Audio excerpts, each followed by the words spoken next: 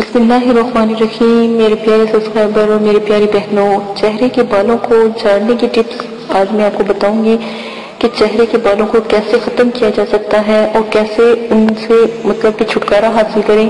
اور ہمیشہ یاد رکھیں، جیسے کہ میں پہلے بھی کہتی رہتی ہوں کہ بازاری بلیچیں آپ استعمال نہ کریں، انہی کی وجہ سے چہروں پر بال ہوتے ہیں اور بازاری جو کریمیں ہیں وہ بھی استعمال نہ کریں۔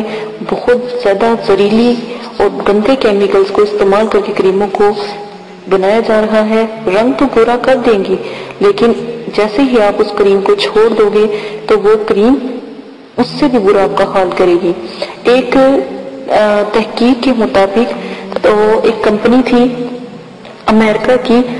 وہاں پر یہ تحقیق کی گئی، تمام کریموں کو، پاکستانی کریموں کو جب وہاں پر لایا گیا، تو وہاں پر پاکستانی کریموں کو بین کر دیا گیا۔ وہاں پر ان کا آنا ممنوع کر دیا گیا کہ یہاں پر پاکستانی کریمیں استعمال نہیں ہوں گی۔ یہ ہماری اسکین کے لیے خراب ہے۔